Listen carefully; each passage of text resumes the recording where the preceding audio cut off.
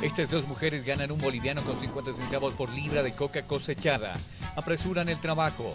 Esperan hacer 10 libras en el día. Trabajan en la Asunta, región yungueña ubicada a 8 horas de viaje desde La Paz. La Asunta basa el 90% de su economía en la producción de coca. De la coca no yo vivo, pues con eso me mantengo, no tengo más otro que cosechar nada. Visitamos sus cocales, cientos de guaychos y legras donde crece la coca.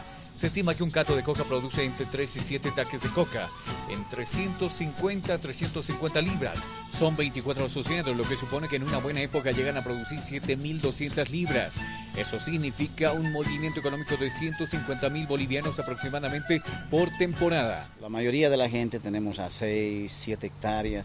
El que más tiene 10 no lo niegan. Aseguran que hay desvío de coca al narcotráfico. Hectáreas aún no cuantificadas dicen que es coca cultivada mucho más adentro, fuera del cordón de legalidad. Ingresamos más allá, atravesamos el cordón, llegamos a Cotapata. En el trayecto en el monte de frente a la Asunta hay desmonte y cultivos que hace cuatro o cinco años atrás no estuvieron. De que también estamos de acuerdo es de que han entrado gente también de Cochabamba, puede ser de Potosí, inmigrantes, ¿no? De Cotapata nos dirigimos hasta Puerto Rico. Los cultivos se hacen más visibles y superan la hectárea. Son de difícil acceso.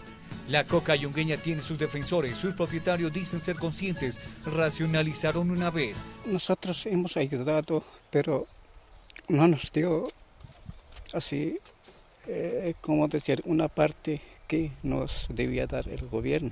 La asunta en el ojo del gobierno. Ellos aseguran habrá racionalización y erradicación. Todo por esto, por la planta milenaria.